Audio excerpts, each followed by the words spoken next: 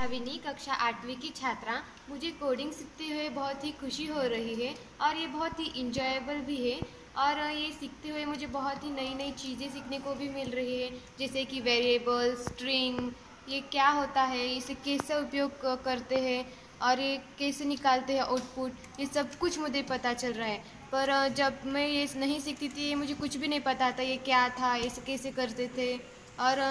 मुझे सीखते बहुत खुशी हो रही है, इसलिए thank you S S M और नव गुरुकुल